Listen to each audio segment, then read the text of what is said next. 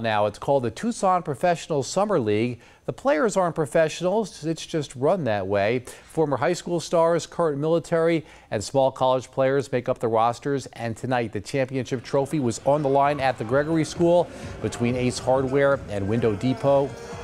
We pick it up first quarter action. It's Ace Hardware's Andres Martinez. He's got the nice touch, goes off glass for two.